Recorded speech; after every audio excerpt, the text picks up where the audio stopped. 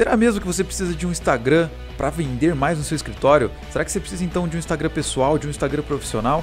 Nesse corte do episódio 106 do Tremindcast, a gente falou especificamente sobre isso. E ele está recheado de insights para você que está querendo entender um pouco mais sobre isso, está com muita dúvida. Então confere nesse vídeo aqui a seguir. Quer falar sobre posts para advogados? Tem muita gente que procura.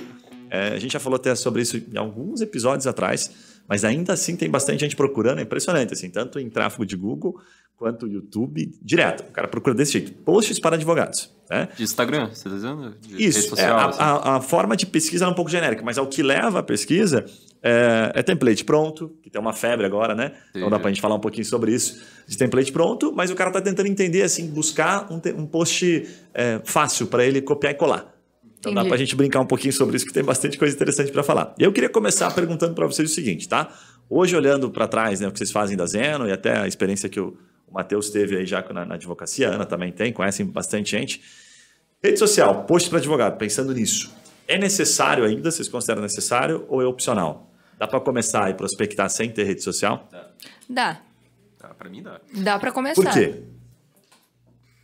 Aí depende, você tem que ter um cartão de visita. Né? Eu acho que é algo que vai reforçar a sua autoridade. Mas se você, por exemplo, investiu em fazer um site, né, foi a tua opção, cara, trabalha nesse site. E aí enche de conteúdo, vamos investir em SEO, vamos fazer aquilo ali bombar. E aquele é teu cartão de visita. Quando alguém vier conversar com você, você usa ele como tua autoridade, joga lá, o cara vê o site foda, cheio de conteúdo e tal. Ou não. Então vamos para Instagram. Mas entender o Instagram daí como teu cartão postal. Daí você não vai perder tanto tempo né, em site, ou nem faz o site, e foca no teu Instagram, e aí você vai ter que trabalhar muito em cima dele. Mas você não consegue, não vai. Tipo, você não é um advogado iniciante, sozinho, Sim. pouca, pouca mão. Não acho que vale a pena você atirar nos dois caminhos. Porque é, eu discordo. São... Porque assim, dá para começar. Acho que você consegue, você monta uma LP e tal, beleza, tá convertendo. Eu, por exemplo, eu às vezes quando vou procurar médico, tem plano de saúde, né? Eu procuro o nome do médico, onde que eu vou pesquisar ele? Instagram. Às vezes eu quero ver a cara do cara, às vezes eu quero ver se ele faz sentido. Então assim, dá para começar, mas tem alguma coisinha lá no Instagram para mostrar que você é uma pessoa real. Sim. Sabe, não precisa trabalhar muito, não precisa é algo simples, mas eu acho que é importante. Onde que é principalmente se você trabalha com o direito de massa, por exemplo, que você falou, a grande maioria. Cara, onde que as pessoas estão hoje? Elas estão no Instagram. Então você precisa estar onde elas estão, porque, né, antigamente não, antigamente as pessoas estavam ali na 15, você tinha que distribuir Totalmente. Né? Então, é, para mim, é, eu acho que, sabe, tipo, não é entendi, é algo essencial. Tipo, cara, não dá para começar, mas eu acho que começa ali, mas, mas tem nesse, um Instagramzinho mas, aberto. Mas nesse ponto, tipo, você precisa ter um Instagram institucional, tipo, postando conteúdos, tipo, falando sobre direito e coisa assim.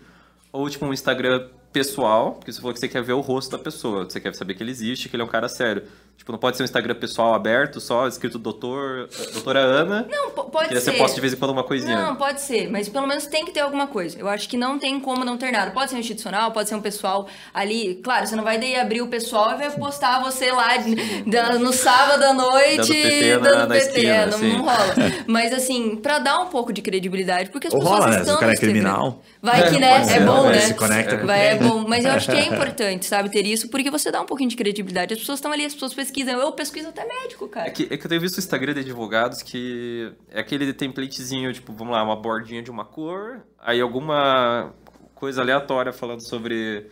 Ou ele pega um Ctrl C do site do Senado, lá do, do Instagram do Senado, é posta ali, né? Esse é clássico. Cara, eu, eu acho que isso não agrega, como além de não agregar, tipo, passa a não profissionalismo, sabe? Tipo, eu, se for pra atacar, ataca de verdade, faz um troço uhum. bom, sério. Uhum. Ou faz no pessoal, um pessoal bom, sério, tipo, entende qual a finalidade. Mas eu vejo os advogados fazendo por fazer. Sim. Tipo, o cara sai da faculdade, ou tem gente lá de faculdade fazendo Instagram sobre direito. Tipo, daí tem lá 300 seguidores que são, tipo, a família dele e tudo mais. Tipo, não, não vejo mas eu entendi o... É, é. Quer dar presença para ele. Cara, tem tipo... tanto advogado que se você tiver um pouquinho de diferencial, quando o cara procura advogado trabalhar, vai ter quantos que vai surgir lá? Sim. Se tiver alguma coisinha que dê um diferencial, você já Mas vai assim na o frente. nosso consenso é que ele não vai te trazer cliente. Não, não. Tipo, não é eu acho que é para marca e um pouco de credibilidade cliente mesmo só se for investir em Facebook, daí eu você vai colocar dinheiro. Não sei se vale a pena. Mas... É, mas assim, daí é outra estratégia, né?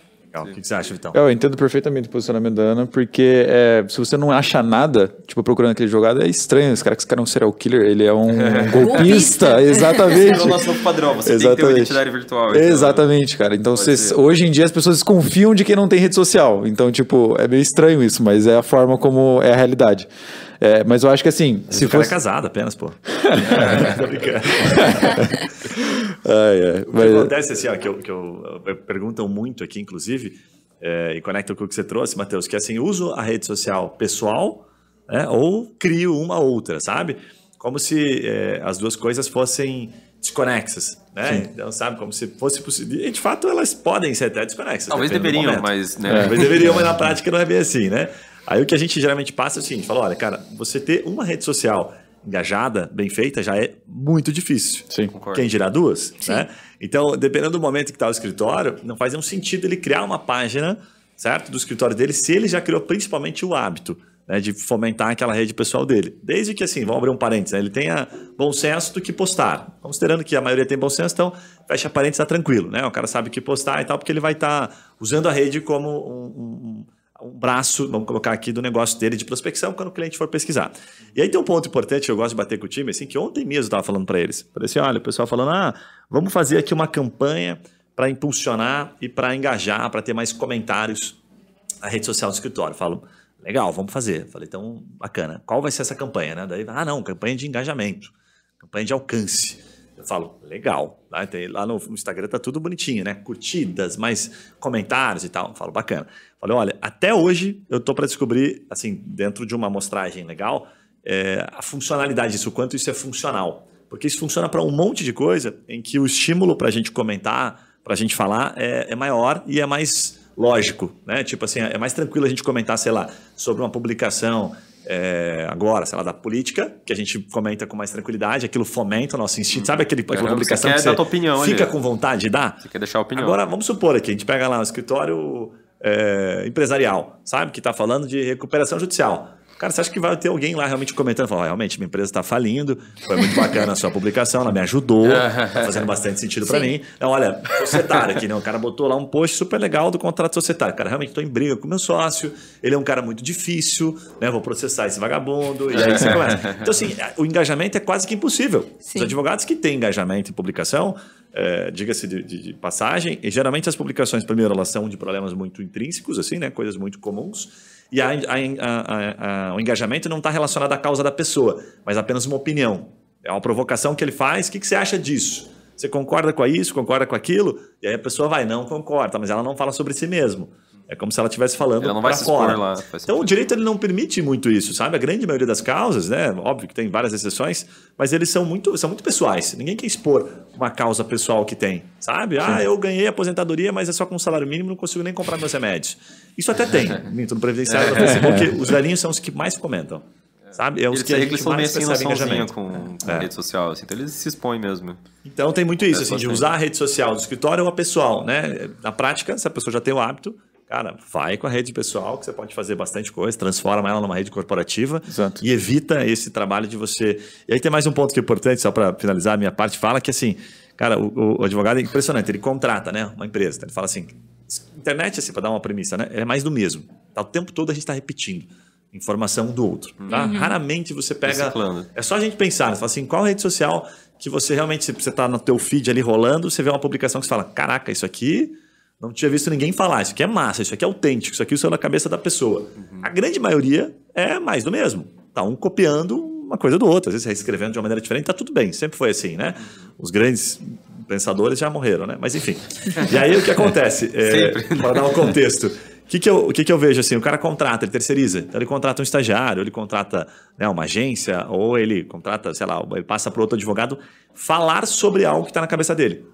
E aí aquele cara vai falar de uma coisa que ele não manja, na maioria das vezes, ou que ele não tem autenticidade, não tem experiência. Então o conteúdo vai ser mais do mesmo. Se é o conteúdo mais do mesmo, não tem autenticidade. Se não tem autenticidade, não tem engajamento. Não é um conteúdo que você agregou algo para alguém. Vai falar de recuperação judicial, o que, que você pode falar além daquilo que todo mundo já sabe que está no Google? Se a informação está tão acessível, como é que você faz para aquela pessoa você dar uma informação realmente que faça toda a diferença? É, experiência. E aí o cara tenta terceirizar o ouro do negócio que está na cabeça dele.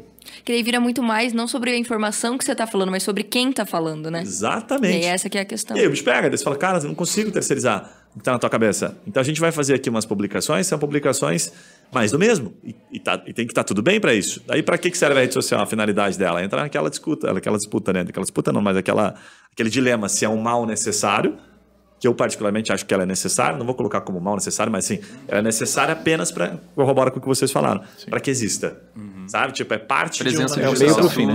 Ela não faz é tipo identidade, negócio. sabe? Todo mundo precisa ter. Uhum. É. é. a nova identidade. Então é, é, louco assim, né? Mas enfim, aí eu queria perguntar para vocês Faz o seguinte, sentido. tá? É, nessa linha do que, do que é importante, é, até nas não sei se pô, tem uma rede social animal, a gente já elogiou algumas vezes aqui, né? Como é que vocês fazem, né, nessa linha de raciocínio, para que, que o conteúdo seja autêntico? Da onde vem essa, sabe, essa... Vou planejar, então. Sentir que para ter engajamento eu tenho que ter um conteúdo top. Como é que surge isso lá na hora de vocês publicarem? E como é que tem a composição, já que a gente falou de post, para o design, para o layout? Como é que uma coisa conecta na outra para falar, opa, isso aqui acertou, isso aqui foi bem feito? É, a parte do design, quando a gente lançou o design da Zeno, a gente fez um, um guia de marca. E aí, né, a gente tem um design que é muito... Um abraço pro Léo aí. Léo, é. muito. Tá com a gente desde o começo. Muito top. E ele fez um guia de marca muito bom. Então a gente segue esse guia de marca, né? Envolvendo cor, traços, tudo. Então, para seguir um padrão, para não ficar aquela coisa, um circo na claro, rede social. Evolui, né? Se for Lógico. lá o começo para agora, tipo, vai evoluindo. Vai crescendo. Assim, mas, tem um, mas tem um padrão. Isso é um ponto que, tipo, às vezes eles pegam posts antigos que eu fazia lá na guerra e a galera tira sarro do que eu fazia. Uhum. Porque, tipo, nunca que um advogado com um Canva na mão vai conseguir fazer o que um bom designer faz. Tipo, essa é uma das questões que, que não, não existe, assim, tipo, não, não tem competição. E até por isso que eu fico meio assim com o Instagram, porque eu falo de criar um Instagram institucional que você quer fazer uh, as artezinhas, tipo, não, não tem como. Você vai precisar de... Se você quer fazer um troço de impacto, você vai precisar de, de um bom um bom profissional Sim. ou uma boa agência para. Você tem que ter um bom senso estético, tem, mas é difícil, tem. né? É, e a questão de autenticidade é falar daquilo que a gente é exatamente o que você falou, daquilo que a gente sabe. acredita, daquilo que a gente sabe. Então a gente não vai falar de algo que não é do nosso dia a dia, a gente não vai inventar falar algo que não. Por exemplo, a gente é uma empresa de tecnologia, a gente tem falado bastante sobre é, direito digital, sobre tudo isso.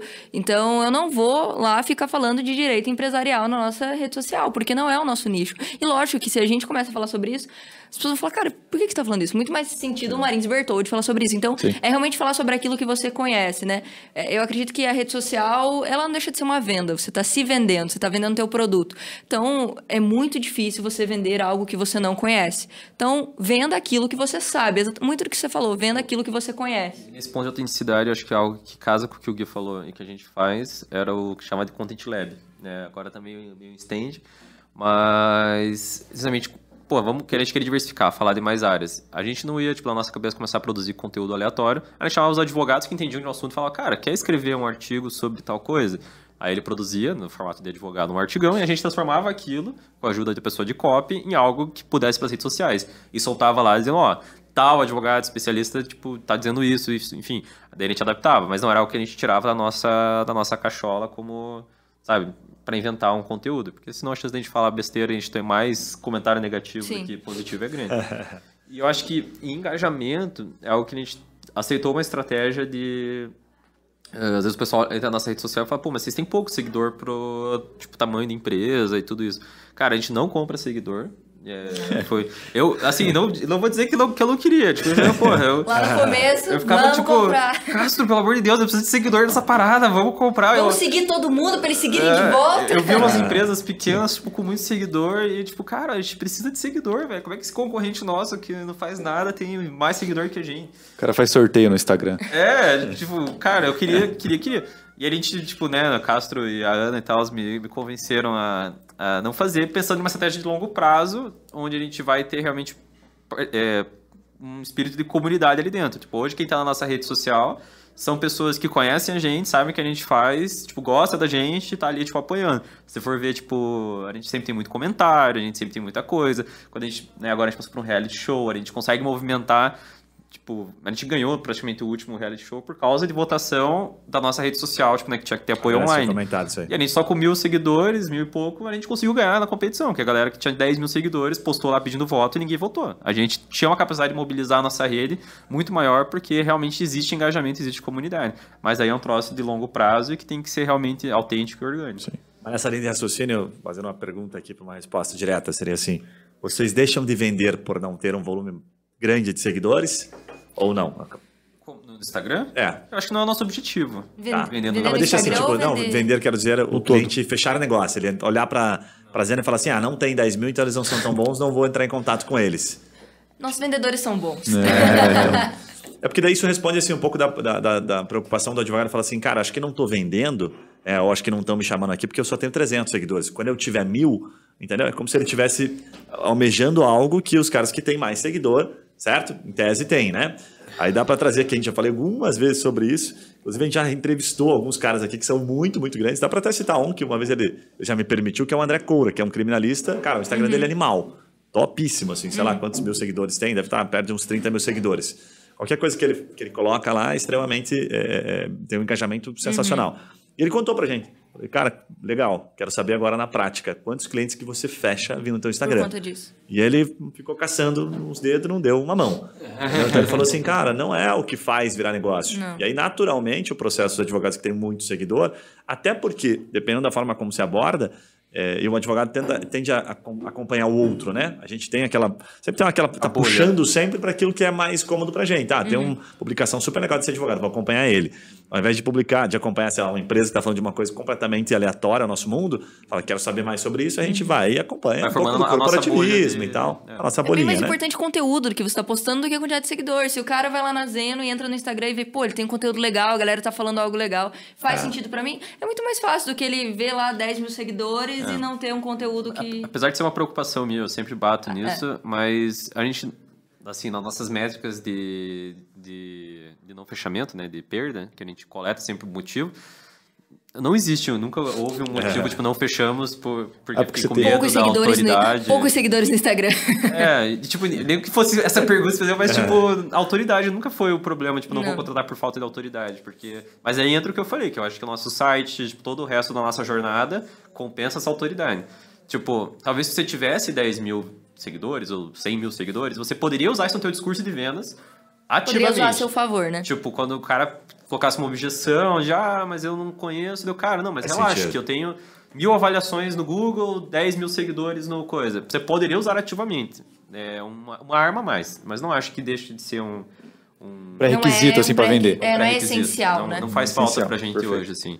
Tanto É que a gente tá deixando pro longo prazo isso, né? É, Até porque se você pegar assim, né? Se 200 seguidores, 100 seguidores que seja, é, versus 20 mil seguidores, como a gente usou como exemplo aqui, a gente tem vários podcasts que a gente gravou aqui com um monte de gente que tem 70 mil seguidores e que os caras falam a mesma coisa. Não vem negócio. Se não vai vir negócio dali, ali não é exatamente onde você tem que estar, certo? Eu tenho que estar ali. Mas tanto faz você tem 200 agora, desde que você esteja trabalhando né, com conteúdo de qualidade para crescer. Mas tem que ter uma outra forma, que aí corrobora com o que vocês trouxeram. Ah, puxa, meu site é super legal, minha marca é bacana, eu estou presente em algumas situações. Estou o tempo todo fortalecendo em paralelo para poder gerar negócio. Sim. O que eu penso sempre assim, fazendo como se fosse uma pizza, eu acho que a rede social ela representa um pedacinho, assim, sabe? O cliente ele procura, ao meu ver, ele não procura um, é, um diferencial para fechar negócio. Ele procura um motivo para não te contratar. Você só não, você só pode, você só não pode dar o motivo para ele. Então, exemplo assim, ah, gostei da Zeno, legal. Então, cara, deixa eu ver no Instagram. Ah, se tem 10 mil seguidores, eu contrato. Se tem mil, já descartamos isso, isso não acontece. Mas se não tivesse o Instagram, seria um motivo, assim, que você abriu uma portinha para ele ficar pensando, mas por que que não tem? Você criou uma objeção que era desnecessária.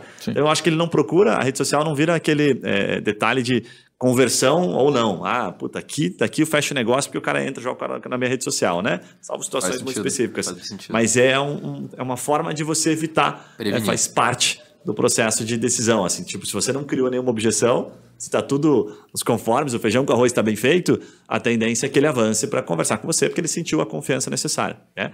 É louco Legal. isso, né? Ele está procurando uma forma para não comprar de você.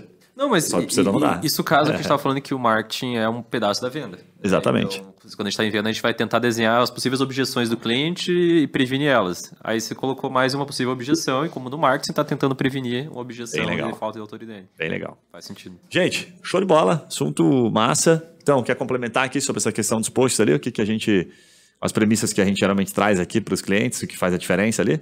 Cara, eu acho que a diferença faz justamente na autenticidade. A autenticidade está numa questão de coragem ali, né? Tipo, de você pegar e falar, não, vou Boa. meter a cara e vou falar na Passa parada. vergonha às vezes. Exatamente, cara. Porque tem gente que fala, ah, mas eu tenho um posicionamento, mas tipo assim, o cara faz dois anos, sai da faculdade, tá com posicionamento num quê? Tipo assim, cara, mete a cara, vai e fala um pouco. Tem que se queimar um pouco ali para você realmente, tipo, cara, entender o caminho que você tá, que teu público tá querendo entender de você. Então eu acho que tem esse ponto de coragem, assim, de realmente ir lá e meter a cara para fazer. Alguém vergonha. vai concordar com você, né? Sempre tem tipo louco assim, né, cara? É, alguém vai concordar com a tua teoria. Cara, pensando nisso, eu tinha um pouco dessa resistência também. Tipo, o marketing vinha com umas ideias e eu, cara, não sei, vai que flopa. Qual o problema de flopar?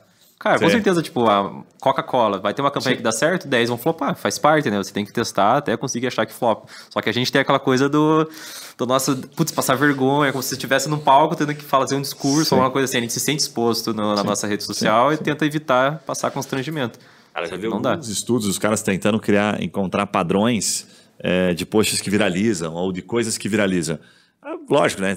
Quando o cara procura aquilo, ele vai achar algumas questões tal. Mas vários estudiosos, assim, né? Que, pessoas que eu falo, puta, esse cara aqui eu gosto da opinião dele, falam que não tem nenhuma relação, sabe? Porque você tem a questão do timing, você tem a questão de para quem, sabe, aquilo apareceu, uhum. como foi feito, né? A emoção que aquela mensagem passou. Então, nossa, tem muitas variações, porque, inclusive, esse estudo ele, ele, ele trazia, está baseado, eu não lembro o nome do livro agora, mas era algo que falava sobre growth, assim, sabe, growth marketing. E ele falava assim: essas, essa mesma empresa que viralizou isso aqui tentou viralizar de outras formas, de maneira semelhante, usando os padrões, e não Sim, conseguiu. Não Lembrei até de um para ficar fácil, para não ficar muito subjetivo aqui, que é daquela. A, a menina lá do da XP, lá da Empíricos, como é que é o nome dela? Ficou bem ah, conhecida? Betina. Betina. Betina é um clássico. Ela fala num podcast, inclusive, que aquele aquele vídeo, né, que super viralizou, que super emplacou.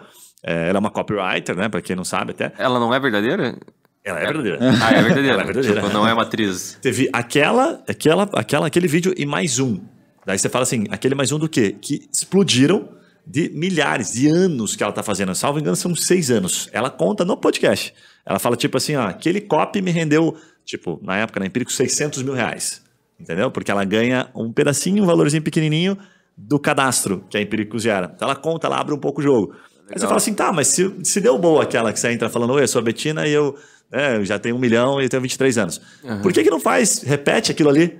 Já era, velho, já passou. Você falou uma mensagem que já agora as pessoas já sabem. Uhum. Então ela tenta o tempo todo trazer. E aí ela fala assim, cara, é teste, teste, teste, teste pra caramba para conseguir acertar um. Então a gente fala de acertar de 10 para acertar um, é uma margem extremamente alta. Eu diria que se, tipo assim, de 100, se acertar meio, já é, começa a ficar um pouco mais próximo de uma realidade, sabe? Legal. Mas aí que entra a autenticidade, justamente. Tipo assim, se você for ver o TikTok da vida, tem advogado pra caramba agora no TikTok. E aí os caras fazem sempre o mesmo formato de conteúdo. Tipo, ah, os caras pegam uma situação do dia a dia, daí eles falam, tipo, se posicionando pelos caras. Então, tipo, ah, o cara chega num bar lá, daí ele fala assim, não, hoje vai ter cover artístico aqui por 50 é. reais. Daí o cara pega e fala, não, beleza. Daí ele entra e sai, eu não vou pagar esse cover artístico. Não, mas eu te avisei antes, tá na placa, daí tá na lei, não sei o quê. Aí faz tipo um teatrinho, assim, sabe? Uhum. Só que todo advogado faz isso. E o aí primeiro que fez deve ter O primeiro legal, que fez bombou, tipo, com certeza. É. Mas hoje já, tipo, seguiu uma tendência que não... não... Famoso mais do mesmo, né? Perdão, uma, uma coisa que a gente tem tentado desenvolver é olhar para fora. É o que você falou de nada, se tudo se copia, tipo, no mercado brasileiro a gente pode estar meio saturado, mas se a gente começar a olhar para o mercado de fora, a gente vai achar muitas fontes de inspiração Perfeito. que não foram utilizadas aqui. E eu, a gente puxou isso do Porta dos Fundos, eu não lembro onde é que eu vi alguém do participante falando, falando que eles acompanham muito outros canais de comédia americanos, e não que eles plagiam, mas eles usam de inspiração. Putz, essa situação no Brasil podia rolar algo parecido. Eles pegaram, era um exemplo do. Ah, não lembro agora o nome. College Humor, que é um canal bem grande americano de comédia, e eles se usam muito, se baseiam. Se você for começar a assistir vídeos, você vai ver alguns vídeos que têm semelhança, né? Não é a mesma situação, mas são coisas parecidas, adaptadas para o mundo brasileiro. Até eles usam isso. Vocês pensam em olhar, os advogados olham para o mercado de fora? Vocês pensam que tem, tem como fazer isso? Cara, acho que sim, tá? Fazer é, é, é lógico, e sim, com certeza, acho super animal isso e tal. Mas na prática, assim, a gente pouco olha, porque a grande maioria, principalmente os clientes que nos contratam, assim, até mesmo o nosso próprio trabalho, às vezes você não saiu do arroz com feijão, sabe? Tipo, arroz com feijão é aquilo que está na tua cabeça que ainda não foi. É, que, é, que é a autenticidade que a gente está uhum. pregando que não foi passado. Então, cara, primeiro sai do arroz com feijão, para depois começar a olhar para fora, assim, sabe? Porque senão o cara fica é, o tempo todo né? buscando a, a, a, bala de prata, entendeu? Tipo, evita a bala de prata. Então é super legal, mas raramente eu recomendo. Porque senão o cara fica muito. Que isso é muito convidativo. Nossa, que massa, vou fazer isso aqui. Daí sabe quando o cara tá o tempo todo procurando bala de prata? Uhum, e não pessoas faz bem nada. próximas, ele não faz feijão com arroz. Eu falo, ó, começa fazendo feijão com arroz, que é publicar todo dia uma coisa que, que é intrínseco da sociedade, que o cara precisa, que é um pouco mais do mesmo, mas com a tua pintada. E depois você começa a complicar, assim, é como se fosse falar, sei lá, vou falar de holding familiar e vou trazer o conceito de holding lá fora. Ok, mas você já falou do basicão? da holding, da importância do feijão com arroz para o cara entender, para depois trazer esse conceito né, de holding lá fora. Como é que os caras administram nos Estados Unidos as empresas deles? Como é que os caras fazem essa arquitetura né, de negócios e tal? É diferente daqui? Sabe? Daí você fala, porra, lá os caras fazem assim, porque eles já pensam lá na frente. É massa pra caramba, mas você já fez o feijão com arroz? O básico, né? Básico, e poucas pessoas fazem faz, o básico. É. E o básico é. traz resultado. A questão é fazer, né? É. E aí, para você ir pro seu escritório, compensa mais uma rede social pessoal ou uma rede social profissional? Responde aqui pra gente e também, se você gostou desse vídeo, não esquece, clica no botãozinho de curtir, compartilha com alguém que pode ajudar bastante e a gente se vê na próxima.